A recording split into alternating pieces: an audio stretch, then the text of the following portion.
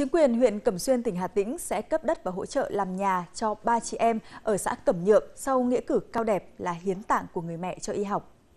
Ba chị em là Nguyễn Thị Sáng, 19 tuổi, Nguyễn Thị Lương, 17 tuổi và Nguyễn Thị Ngọc Thùy mới 17 tháng tuổi.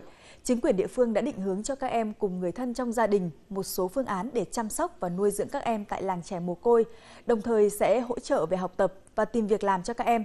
Còn nếu các em muốn ở lại sinh sống tại quê hương, chính quyền sẽ cấp đất, hỗ trợ và kêu gọi các nhà hảo tâm để xây nhà. Trước đó, mẹ của ba em đã mất do tai nạn giao thông. Em Sáng là chị cả đã quyết định hiến tạng của người mẹ, góp phần cứu sống 4 bệnh nhân tại bệnh viện Trợ Rẫy, thành phố Hồ Chí Minh.